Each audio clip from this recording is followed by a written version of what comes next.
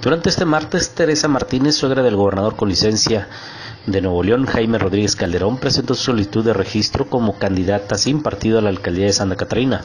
Acompañada de sus hijas y simpatizantes, la madre política de El Bronco acudió a la Comisión Estatal Electoral a entregar su documentación. Tras finalizar el acto protocolario, en entrevista indicó que buscarán poner fin a un sistema que se ha establecido por años en ese municipio, el cual, dijo, requiere ser renovado. Sin mencionar algún proyecto en concreto, Martínez aseguró ser la mejor opción para Santa Catarina. Para Noticial.mx, Rodolfo García.